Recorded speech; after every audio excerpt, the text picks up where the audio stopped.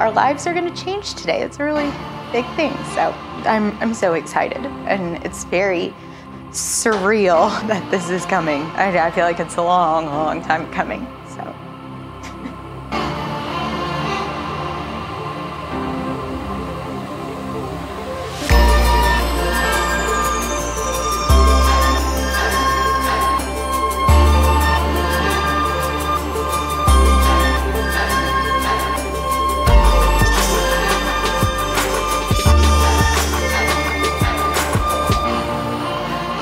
June 29th, 2019, I married my best friend. Love, your best friend, protector man, and now husband, Chris.